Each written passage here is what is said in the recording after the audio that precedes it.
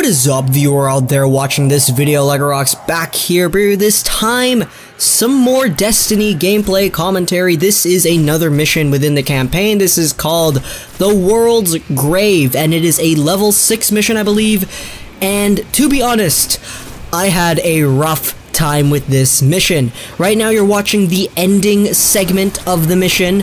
Uh, I actually died a few times in this, or uh, doing this mission and this is my 11th life, I believe. I've, I died 11 times, or no, this is my 12th life. Wait, if you die 11 times, that means when you finish, you're finally at your 12th life, I believe, because zero counts too.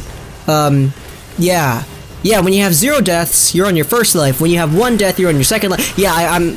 I needed 12 lives to complete this mission. So, yeah, um, the um, the world's grave is what it's called, and to be honest, it's early in the game, and it's a hard level mission. I had a lot of problems with it, I died a lot, and as you can see in this gameplay, I am desperate, jumping around using the double jump, using my special ability, knifing all of these fools that are coming towards me, just having a good time because Destiny is really fun. And you know, funny story, to be honest, it took me a while to understand how to actually play online multiplayer, player versus player matches in Destiny. So, um, I, if you didn't know, the online multiplayer function is called Crucibles, I believe, and I googled how to unlock Crucibles, and I found out after a while that, oh, I need to talk to some guy in, like, the the headquarters of the game. I need to talk to somebody in order to activate it. So I got that activated after I completed this uh, mission right here. And I'm going to be trying to get some gameplay for you guys later today or maybe tomorrow. Most likely later today. Um, on the online multiplayer mode, and this right here scared the crap out of me. This big knight just got me. I died. You know, he just sliced me. The darkness consumed me um, I died 11 times so far, so I need to restart that whole segment, and I need to do everything all over again, and, you know, everything as in getting this, uh, little thing that I got, uh, I forgot what they're called, like these little squ- ghost, yeah, that's what it's called, getting my ghost, um, deployed into this area so we can, you know, analyze some stuff, and the whole fighting sequence, I have to do it again. So yeah, um, you guys saw me die, and you're gonna have to see me do this all over again. Kill the, um, the wizard and everything, and yeah. Here we go. Guys are starting to spawn out. I'm trying to shoot them as they come out, just so I can, just so I won't have to deal with them a bit later. Like this thrall over here. Look at me, trying to do the, um, like the drop kick move, sorta like in advanced in advanced warfare, where you jump up, do the double jump, then you just slam right on some onto somebody's head. You can do that here, but it's not a kick; it's a it's a knifing motion, and it's really cool. I really like the mechanics of this game. I like the feel of it. I love or I love how you can run around, do the slide. Like if you're running, you press circle, you do the slide thing, and then I love the double jump and everything. It's really cool, and if you combine all these like super slick moves with the melee weapon, it's it's amazing. It looks so slick. Like that that was a good knife. I really like that. There's another knife. The knifing in this game is really nice. It's not just one big swipe.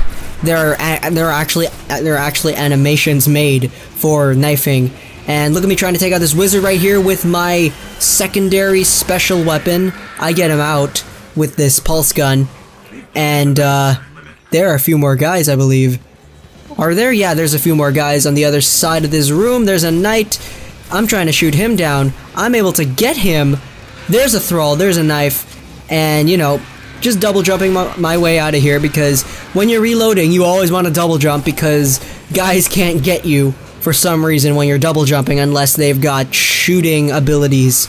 So, um, yeah, and even if you, even if they have shooting and guns and all that, or like energy balls that come out of their hands.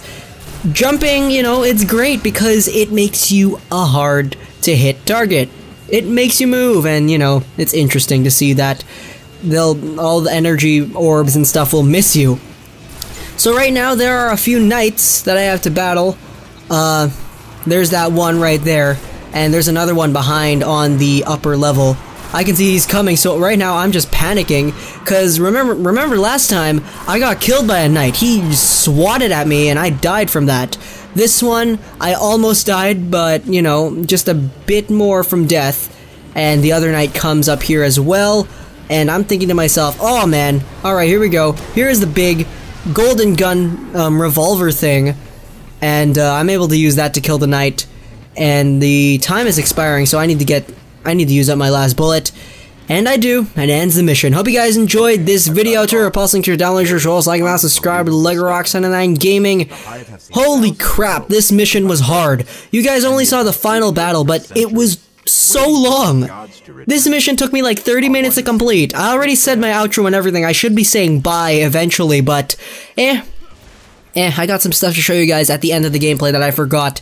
I had to show you, so I said the outro and everything, so I'll just leave the video off with an and bye after I show you guys that it took 30 minutes and I died 11 times in this game. As you can see, it's all right there. 41 precision, precision kills, 140 regular kills, mission summary, all right here, almost 40 minutes of gameplay, and bye.